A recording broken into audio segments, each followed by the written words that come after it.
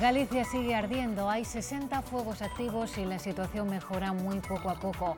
En Pontevedra las llamas no amenazan ya a ninguna casa, pero las mayores complicaciones se trasladan ahora a Ourense. La cifra de muertos se eleva ya a cuatro. La Junta habla de terrorismo incendiario. Y el fuego en Galicia ha saltado al Bierzo. Estas llamas en Sobrado sorprendieron anoche a los equipos de extinción. En León ya había otros tres incendios activos, por lo que toda la provincia está en nivel 1 de peligrosidad. Hay otros dos incendios ahora mismo en Gilbuena, en Ávila y en Pereña, en Salamanca, pero la evolución es favorable.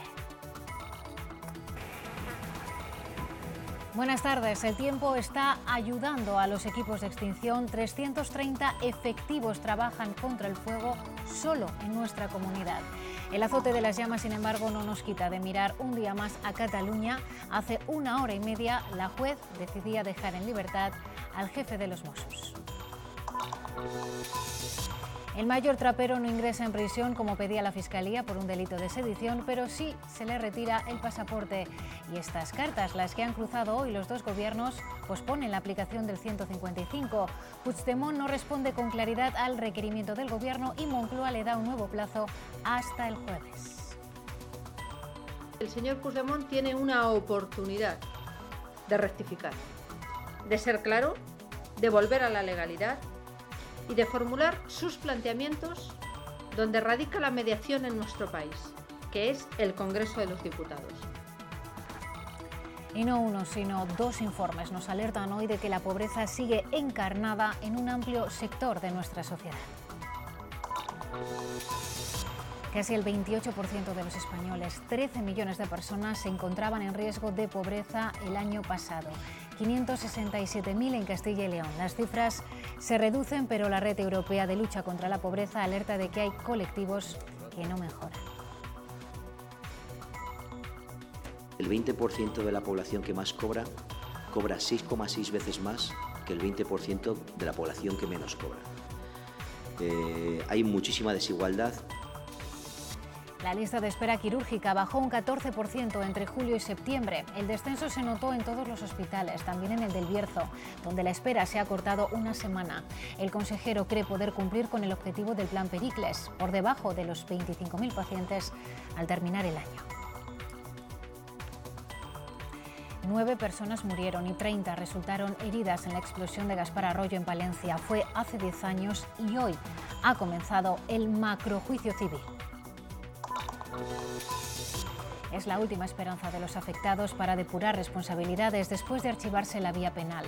Gas Natural, contra la que se han presentado 80 demandas, niega que la fuga en una válvula provocara el accidente.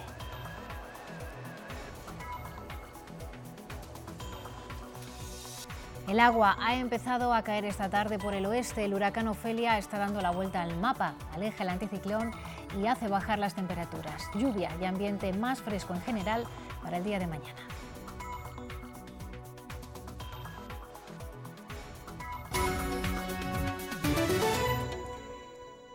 Galicia sigue ardiendo como una tea. A esta hora nueve fuegos continúan amenazando distintas poblaciones. La situación mejora lentamente en las zonas donde ha llovido, en las de costa, mientras que en el interior sigue siendo muy complicada.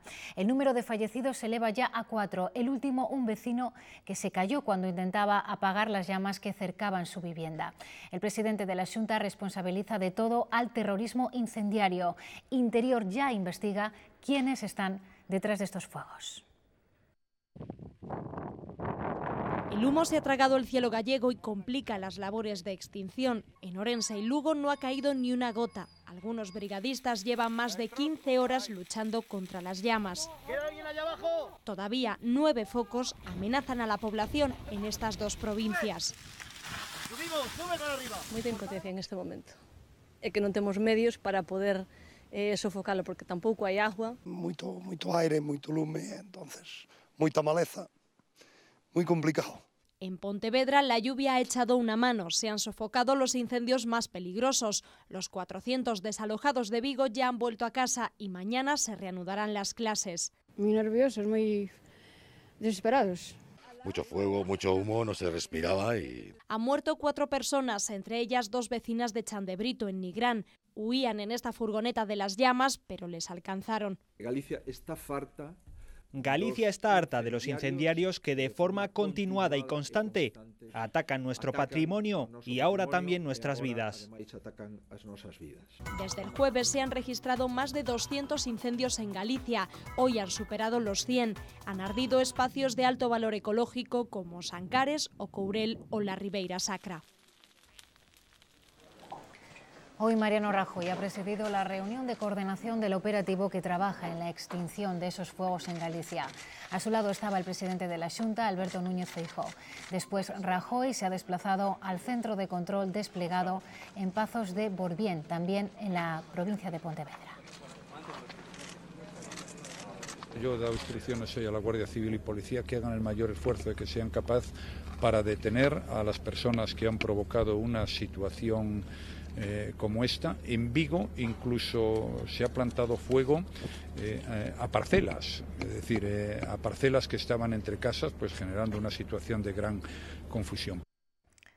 No solo Galicia padece el azote de las llamas. En Asturias, 32 incendios forestales han obligado ya al desalojo de tres pequeñas localidades de Cangas del Narcea. Además, se han suspendido por precaución las clases en 23 colegios y se han cortado dos carreteras. Los dos incendios más graves se sitúan en los concejos de Ibias y de Gaña. En ambos casos son de más de 500 hectáreas. Están muy cerca de la Reserva de la Biosfera de Muñellos, considerada como el mayor robledar y el mejor conservado de toda España. No se libra Castilla y León de las llamas, la peor parte por número de incendios se la lleva León. A dos localidades del Bierzo, Balboa y Sobrado, ha saltado el fuego desde Galicia. Ya había otros tres, así que la labor de los efectivos es incesante. Hay 180 personas trabajando y el nivel de alerta es uno para toda la provincia leonesa, precisamente por la simultaneidad de todos los fuegos. La carretera de acceso a Portela de Aguilar en el Bierzo continúa cortada. Las brigadas antiincendios continúan luchando contra el fuego en la provincia de León, especialmente en las comarcas del Bierzo y de la Ciana. A los incendios de Benuza, de Palacios del Sil y de Sosas de la Ciana se han unido en la jornada de hoy los que han entrado en nuestra comunidad procedentes de la vecina Galicia. Hablamos de los fuegos de los ayuntamientos de Sobrado y también de Balboa. A esta hora de la tarde continúa cortada la carretera hacia Portela de Aguiar, donde se produce uno de los fuegos más destacados y que ha tenido en vilo a las poblaciones del Ayuntamiento de Sobrado durante las últimas horas. Tengo que ir a, León. Esto es lo que se han llegado a encontrar los bomberos forestales en el fuego de Sobrado. Según la Administración, en la zona trabajan un técnico, dos agentes ambientales, una cuadrilla helitransportada, cuatro cuadrillas terrestres, tres autobombas y cuatro máquinas. Creo que, que son ya gente organizada para hacer daño a lo que es decir a toda la zona y al país.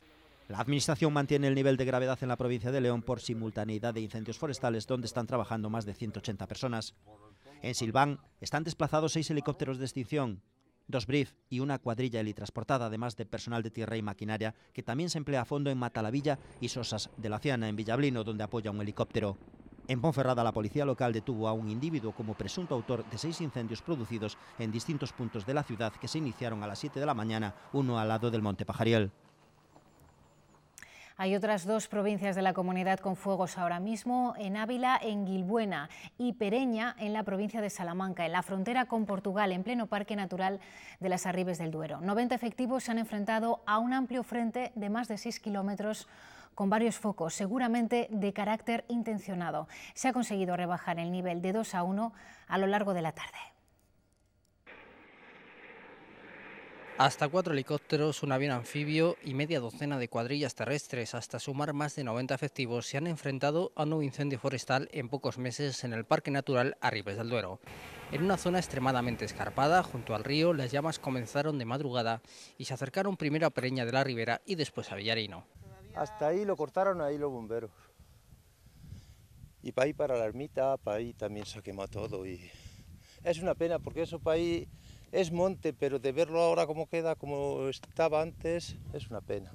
Aunque el término más afectado en superficie es Pereña de la Ribera, la alarma la suscitaba la cercanía de las llamas hasta el núcleo de Villarino de los Aires. Finalmente, la acción de los bomberos, que actuaron rápidamente, impidió que el fuego llegara a las casas. Eso sí, deja tras de sí un rastro de auténtica desolación. Es que la pena es que se, comen, se quemen todas las encinas, robles y todo, todo lo que hay, que pues hay muchos de siglos, que tienen hasta siglos y que se quemen así. Es el segundo incendio de estas características en menos de tres días y en la zona nadie duda de su carácter intencionado, al haberse localizado varios focos en un frente de 6 kilómetros. En España, según el Ministerio, el 54% de los incendios entre 2000 y 2010 fueron intencionados, una cifra que en el noroeste del país se eleva al 70%. Por esta situación, la fiscal jefe de Castilla y León ha pedido un plan coordinado entre las comunidades de esa zona. Castilla, León, Galicia y el noroeste de España, junto con Portugal, tenemos una problemática y unas características especiales y diferentes, en concreto con eh, en este tema de, incendios, donde bueno, pues lanzó la idea que sería necesario eh, pues, establecer líneas de, de coordinación que posiblemente nos pudieran beneficiar a todos. Y en Portugal nos detenemos porque la ola de incendios que afecta desde el fin de semana al centro y norte de este país deja ya más de 30 muertos. El gobierno portugués no descarta que la cifra aumente debido a que hay muchos heridos y personas con las que no se ha logrado, todavía contactar. Se han registrado más de 500 focos y hay carreteras y autopistas cortadas en toda la zona afectada. Varias aldeas han tenido que ser evacuadas por el peligro de las llamas que se expanden con temperaturas superiores a los 30 grados.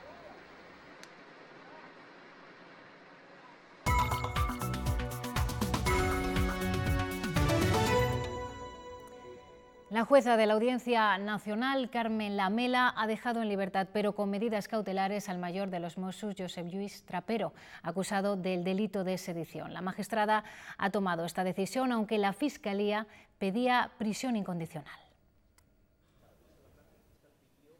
El mayor de los Mossos, Josep Lluís Trapero, ha evitado la prisión incondicional como solicitaba para él la Fiscalía por un presunto delito de sedición. Sin embargo, la juez Carmen Lamela le ha impuesto una serie de medidas cautelares. En primer lugar, no podrá abandonar España, le ha sido retirado el pasaporte y además deberá acudir al juzgado más cercano de su casa cada 15 días.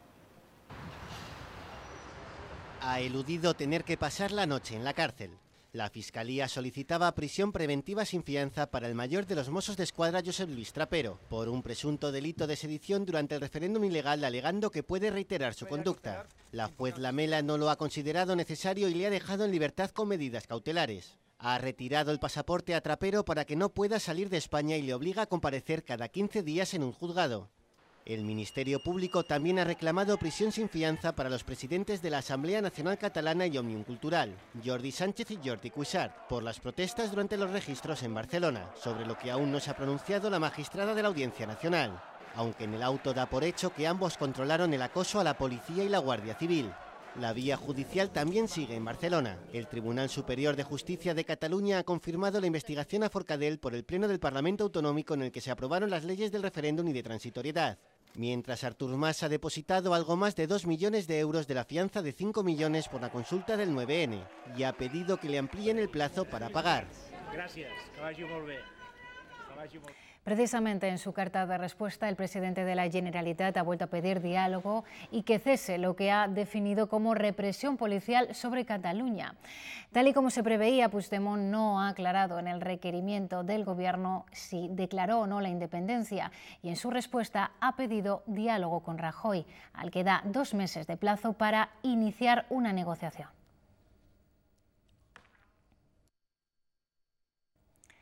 Pues bien, la respuesta del Gobierno a esta misiva ha sido inmediata. Antes de las diez y media de la mañana, otra carta salía de Moncloa con la firma de Rajoy. El Gobierno lamenta que no haya habido una respuesta clara, que Puigdemont siga enredando, esa es la palabra que ha utilizado la vicepresidenta, manteniendo la incertidumbre y haciendo llamadas al diálogo de escasa credibilidad. El Gobierno le recuerda que hay disposición para ese diálogo, pero dentro de la legalidad y siempre en el Congreso. Inmediata ha sido la respuesta del Gobierno en esta carta de tres folios. Rajoy lamenta profundamente que Puigdemont no conteste al requerimiento, una aclaración dice absolutamente necesaria, y que prolongue esta situación de incertidumbre en beneficio de sus propios intereses. Prolongar la situación de incertidumbre y de confusión deliberada solo favorece a aquellos que pretenden liquidar la concordia cívica e imponer un proyecto radical. La vicepresidenta ha explicado la misiva después de que Moncloa la enviara a la Generalitat. En ella el Gobierno también duda de los llamamientos que Puigdemont hacía al diálogo y de su interés por reunirse con Rajoy. Cuando uno lee la carta da la impresión de que el señor Puigdemont se la dirige mucho más a los de fuera que a los propios ciudadanos de Cataluña. Y le ofrece diálogo, sí, pero en el Congreso. Nadie le niega el diálogo, pero el diálogo tiene que hacerse dentro de la ley con la máxima claridad y en el Congreso donde está representado. La no respuesta de Puigdemont pone en marcha el segundo plazo. Hasta el jueves a las 10 de la mañana puede revocar la declaración de independencia o negar que se produjera. El Gobierno no quiere adelantar ni cómo ni cuándo aplicará el 155 si el presidente sigue enrocado. Está en su mano evitar que se den los siguientes pasos. Pero le advierte de que en ese caso él será el único responsable de que se aplique la Constitución. Tanto el Gobierno como el PSOE se han esforzado hoy en explicar que la aplicación del 155 no supondría la suspensión de la autonomía de Cataluña, sino la vuelta a la legalidad del Estatuto y, en todo caso, ha dicho el PSOE, sustituir los órganos de gobierno de la autonomía por otros. Desde Ferraz creen inadmisible la respuesta de Puigdemont y confirman que tanto las medidas como los plazos que traiga el 155 serán por acuerdo entre el PSOE y el Gobierno central. Es evidente que el diálogo que él propone no es un diálogo, está proponiendo más bien un monólogo y está proponiendo exclusivamente eh, una, separación de Cataluña y una discusión sobre cuándo y cómo se va Cataluña de España. Eso no es un diálogo. Por tanto, eso no es admisible en este momento. Y desde Esquerra se han mostrado satisfechos con la respuesta de Puigdemont al Gobierno central y han aprovechado para lanzar esta pregunta a la vicepresidenta del Gobierno.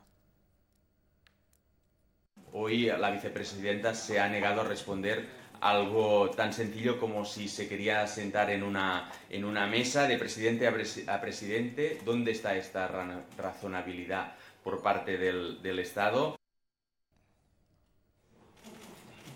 Esta tarde la Junta de Portavoces ha suspendido el pleno que estaba previsto para el miércoles. En él los independentistas querían que Puigdemont proclamase la República, pero han decidido esperar a la respuesta del Gobierno central. Esto no ha gustado en los grupos de la oposición que han lamentado que llevan tres plenos suspendidos y sin sesiones de control.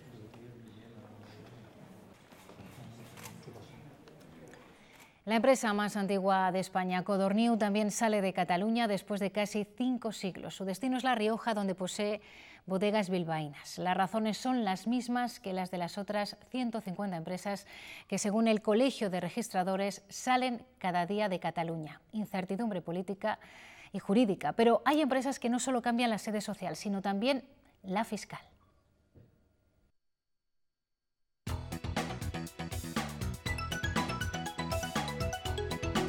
La noticia económica patrocinada por Cajas Rurales de Castilla y León. La mayor parte de las empresas catalanas lo que han trasladado es su sede social. Con esto consiguen que se les siga aplicando la legislación española. Todavía la mayor parte no han llevado la sede fiscal. Lo harán, porque entre otras cosas habrá dos agencias tributarias.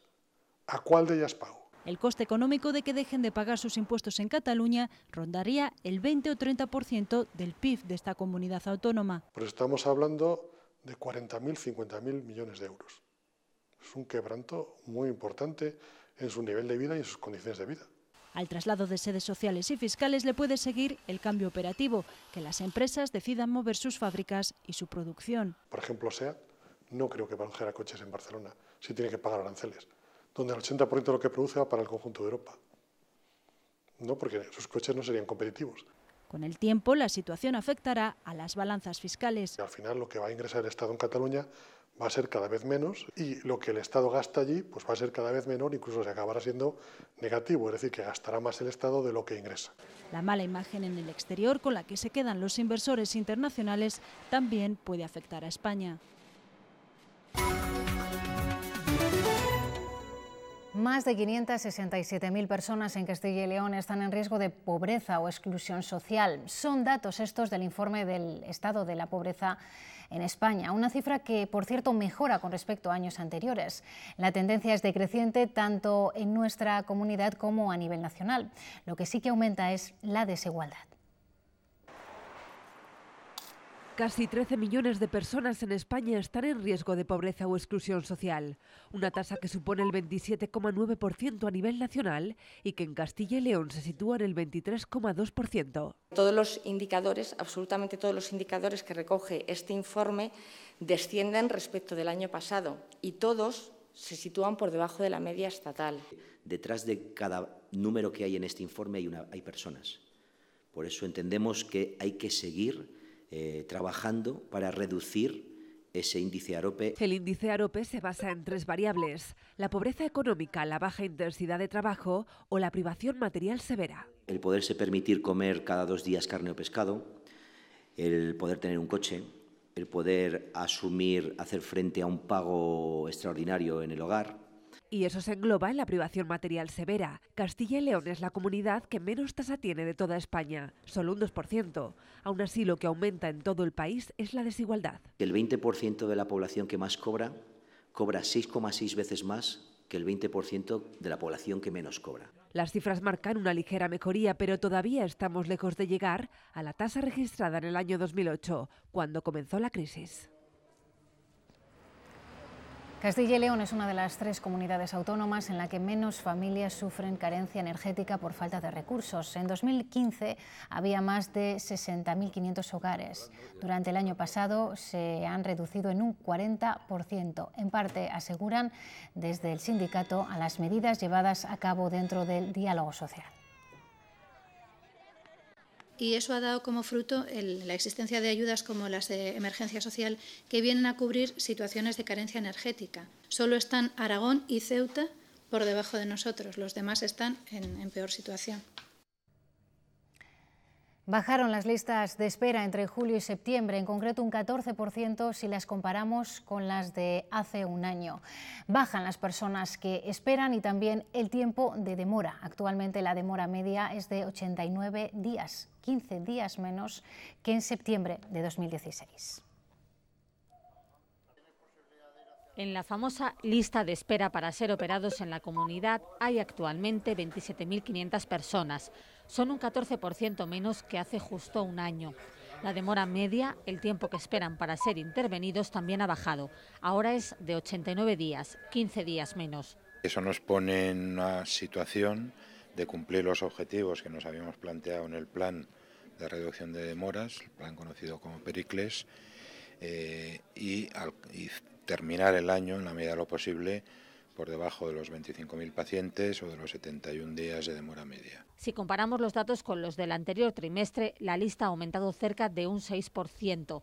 Son los meses de verano. 1.500 pacientes más esperan para ser operados. Hay menos actividad porque se concentran más las vacaciones. Ha bajado en todos los hospitales, especialmente en el del Bierzo, con una caída del 41%. Este centro sigue siendo uno de los que tiene más demora, con 126 días de espera pero Salamanca acumula más días todavía, con 145 de media. Siete de cada diez personas que esperan para ser operadas necesitan una intervención en traumatología, oftalmología y cirugía general y digestiva.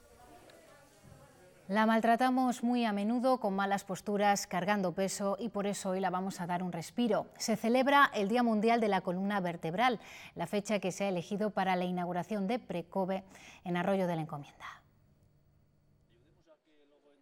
ADECIL es la Asociación de Escoliosis de Castilla y León y su objetivo es proporcionar ayuda a las personas con patologías de la espalda. Hasta ahora contaban con una sede en el municipio de Arroyo de la Encomienda en Valladolid, pero a partir de ahora tendrán un nuevo centro. Lo que hace es apostar por la prevención. Tenemos que intentar eh, abandonar los malos hábitos, hacer más ejercicio, tener cuidado en el tema alimenticio y el ejercicio físico fundamental. Eh, creemos que hay que invertir más en prevención para llegar a la vejez en las mejores condiciones. Con esta sede quieren dar cobertura a más pacientes. Había ahí un poco de una necesidad mm, de tratar al adulto y no teníamos espacio. La inauguración ha sido a cargo del consejero de Sanidad, Antonio María Sáez Aguado, quien ha remarcado la importancia de este tipo de servicios complementarios a la sanidad pública. Desde aquí esperan dar servicio de tipo preventivo para evitar futuras lesiones y de esa manera asegurar una buena calidad de vida. En las Cortes, la fiscal superior de Castilla y León ha presentado la última memoria de actividad de su ministerio. 2016 fue un año con caída en el número de diligencias previas en la comunidad y donde los delitos de seguridad vial fueron los más numerosos. Además, en esta comparecencia se han vuelto a reclamar más medios para luchar contra la violencia de género. Una vez más, la misma petición para luchar contra la violencia de género, esta vez desde la Fiscalía Superior de Castilla y León. Seguimos eh, insistiendo en la necesidad de la necesaria planificación y coordinación de los recursos existentes. Existen eh, recursos, se están invirtiendo. Porque hacen falta más medios, pero los que ya hay podrían funcionar mejor. Es una de las conclusiones de la última memoria de la Fiscalía de la Comunidad. 2016 fue un año en el que aumentaron las sentencias de violencia de género, un 13%, mientras que las absoluciones descendieron un 25% pero por tipo de delitos, los más numerosos en Castilla y León. Uno de cada tres delitos de acusación del Ministerio Fiscal es por delitos contra la seguridad vial. Entre ellos, conducir bajo los efectos del alcohol o hacerlo sin permiso son los más habituales. En esta comparecencia, la fiscal superior de la comunidad ha destacado también la falta de medios en algunos aspectos relacionados con la protección a menores, mientras que para luchar contra la corrupción ha vuelto a pedir un delegado de la Fiscalía Anticorrupción con competencia, con dependencia del fiscal jefe de la Fiscalía Anticorrupción y con competencia en todas las provincias de la comunidad. Y un último dato inquietante, el aumento de los conocidos como delitos de odio en las redes sociales, muy difíciles de detectar en ocasiones y aún con pocas denuncias. Siete millones y medio de euros en indemnizaciones, 80 demandas presentadas y decenas de testigos. Después de diez años, hoy ha arrancado el macrojuicio que intentará buscar a los responsables de la explosión de gas de Gaspar Arroyo en Valencia, en la que fallecieron nueve personas. Gas Natural, la parte demandada, primera en comparecer, ha eludido responsabilidades en el accidente. Esta mañana, diez años después, ha comenzado el juicio que intentará dirimir qué ocurrió exactamente el 1 de mayo del año 2007, momento en el que se produjo una explosión de gas en este punto, en la calle Gaspar Arroyo, que dejó nueve víctimas mortales y decenas de heridos. En este arranque del proceso, hoy ha sido una fecha especialmente destacada, ya que Gas Natural, como parte demandada, ha comparecido, ha declarado y lo ha hecho para eludir cualquier tipo de responsabilidad. Además, lo ha hecho presentando informes. En esta primera vista del juicio oral para dirimir responsabilidades por la explosión de gas de la calle Gaspar Arroyo se ha procedido al interrogatorio de la parte demandada. Gas Natural se ha defendido desacreditando los informes periciales que realizó la Policía Científica y los técnicos de la Junta. Niega que la válvula de acometida del gas estuviera mal instalada y que ese fuera el origen del escape de gas. En este sentido ha reiterado que la causa podría estar relacionada con la presencia de bombonas de gas butano y propano una afirmación que no comparten los afectados. No nos parece un argumento válido el que se plantee desde gas natural pues que explotó una bombona de gas y que esa, una explosión de tal entidad fue causada por una, por dos, por tres bombonas de gas. Nos parece absolutamente, absolutamente imposible. A preguntas de los abogados de la acusación, Gas Natural ha explicado que hacen un seguimiento del estado de las instalaciones de gas cada dos años y solo acuden en caso de un aviso por olor de gas o por la ejecución de obras. Es lo que ocurrió apenas un año antes de la explosión. La responsabilidad en el mantenimiento de la red de distribución del, gas es de gas natural, la responsabilidad civil puede ser de, de Mafre no tenemos mucha, mucha duda. En total se han presentado 80 demandas. Las indemnizaciones que piden los damnificados suman 7,5 millones de euros. Mañana se retoma el juicio con el interrogatorio a Provilsa, la empresa de la Junta que construyó las nuevas viviendas.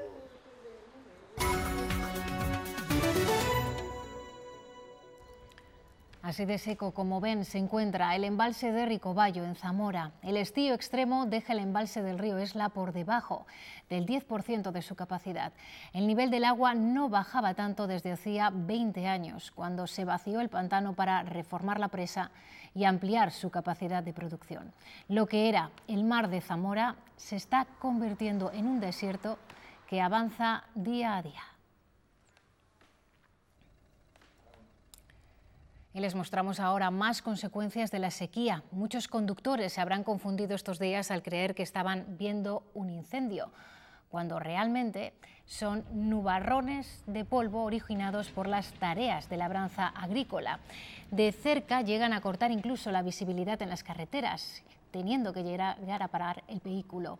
Se recomienda mucha precaución en estos casos. El terreno está tan seco que esas nubes espesas se prolongan durante varios minutos, pareciendo una verdadera quema en el campo.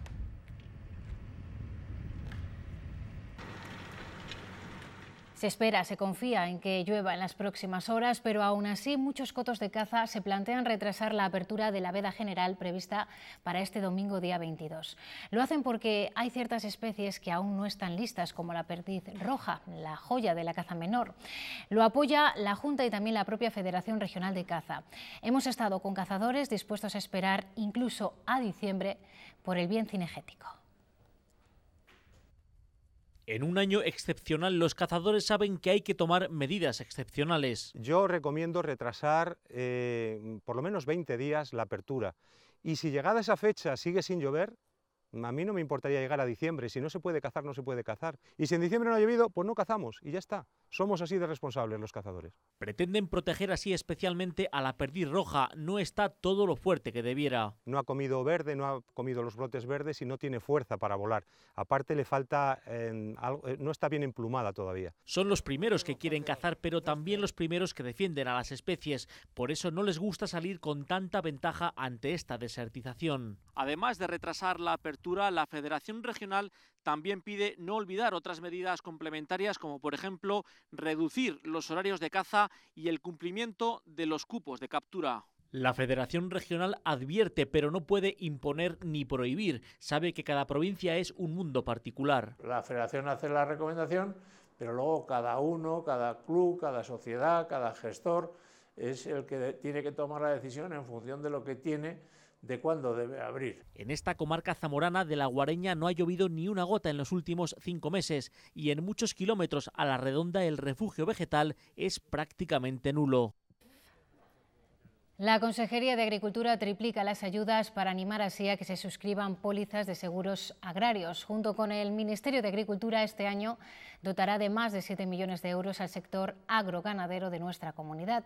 Así lo afirmaba esta mañana Milagros Marcos con el presidente de Agroseguro. Este presupuesto se incrementará, si no fuera suficiente, para subvencionar todas las pólizas contratadas. En Castilla y León, esta campaña solo estaba asegurada el 50% de la superficie cerealista. Con esto, la Administración intentará incentivar que aumente ese porcentaje.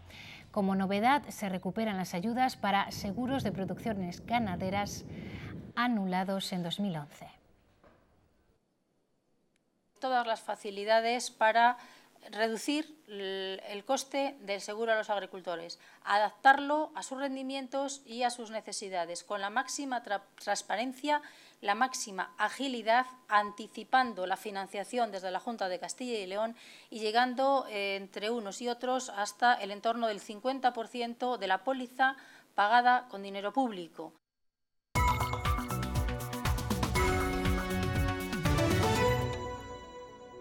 En unos minutos llega todo el repaso deportivo del fin de semana. Fernando Escudero, buenas tardes.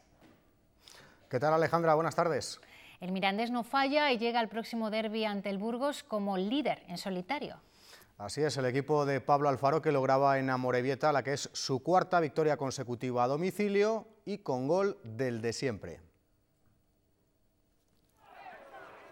Cervero, ahí lo ven, cazaba un rechace del portero local en el segundo tiempo que permite a los rojillos alcanzar los 23 puntos, cuatro más que un Burgos que firmó ante el Guernica su tercer empate consecutivo sin goles. Saizar aumenta hasta los 810 minutos su récord de imbatibilidad, pero los blanquinegros siguen sin concretar las ocasiones que generan. En el grupo 1, nueva derrota de la Ponferradina que parece toca fondo. Además, repasaremos todo el baloncesto. Esta jornada solamente las alegrías han llegado en forma de victorias del baloncesto femenino, en este caso perfumerías y que eso es el pastor de Zamora. Gracias, Fernando. Pues lo vemos enseguida. Hasta ahora. Hasta luego. Ayer festejaron a su patrona, Santa Teresa, e inauguraron el primer año jubilar teresiano. Esta mañana comenzaban a llegar los primeros peregrinos a la ciudad de Ávila. La Plaza de la Santa en Ávila ofrecía un constante movimiento de gente, la mayor parte de ellos venidos de fuera de nuestras fronteras, que vienen grupos organizados en parejas o en solitario. Querían ser protagonistas en primera persona del año jubilar teresiano recién iniciado. Algunos llegaban desde Pensilvania, en California, tras visitar Fátima y peregrinar luego a Lourdes. Ellos esperan conseguir, bueno, principalmente vienen para conocer un poco lo que es la cultura de aquí, cómo vivimos los católicos en Portugal, en España y en Francia. Y sobre todo lo que quieren es creo, conocer más la fe católica, conocer más del cristianismo. Cruzar el umbral de la Puerta Santa les acerca a conseguir su objetivo, la indulgencia plenaria. Sí, y bueno, viene acá a Madrid donde un familiar y a recorrer los lugares eh, más eh, turísticos, ¿no? Ya hemos estado en algunos lados y y por qué no visitar a la Santa, ¿no? Mucho, mucho, sí, hemos caminado bastante, a pesar que mi esposa ha estado un poquito enferma, pero allá esta se recupera con estos días que visitando, porque esto, como le digo, es una bendición de Dios. Durante todo el año, Ávila se convierte en un centro de peregrinaje para el mundo entero. La Junta de Castilla y León invertirá 26 millones de euros hasta 2019 en infraestructuras turísticas para los 28 espacios naturales de la comunidad. Hoy se han presentado los ocho proyectos de la provincia de Burgos, donde se incluye la Casa del Parque del Alto Ebro y Rudrón y un albergue en Montes Obarenes damos un paso más, contribuimos a la revitalización, a la dinamización de nuestro mundo rural, a que aquellos que viven en nuestros pueblos cuenten con una oportunidad más para seguir allí asentados con un recurso económico que les proporcione una buena calidad de vida. El Ejecutivo Autonómico y el Archivo Histórico Provincial de Segovia han inaugurado una nueva muestra sobre el monarca Carlos I, documentos poco conocidos que explican cómo era la vida en Castilla y León en la época del rey emperador. Con una visita a esa muestra, hoy nos vamos a despedir. Mañana regresamos con más información, ya lo saben, a las ocho y media. Que tengan una feliz noche. Adiós.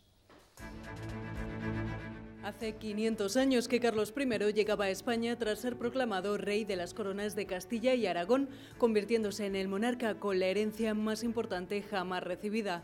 Porque heredaba no solamente las coronas de Castilla y de, y de Aragón, lo que es eh, España, sino que además el Sacro Imperio Germánico, los territorios borgoñones y todos los territorios de ultramar de América. Ahora esta muestra, dividida en cuatro secciones, da fe de la herencia de Carlos I, de los tratados comerciales entre España y las Indias, de la nobleza segoviana en época del monarca o de la construcción de la Catedral de Segovia.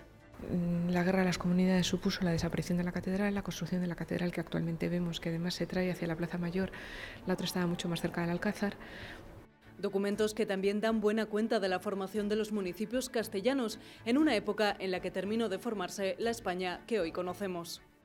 Hoy está más que nunca en, entredicho, por llamarlo de alguna manera, quiénes somos, de dónde venimos y a dónde vamos. Y conviene recordar que venimos siendo España desde hace mucho tiempo, que lo venimos siendo juntos, que hemos tenido problemas y que hemos tenido disputas y que todas esas se han arreglado y que al final hemos llegado a acuerdos. La muestra se puede visitar en el Archivo Histórico Provincial hasta el próximo 22 de diciembre.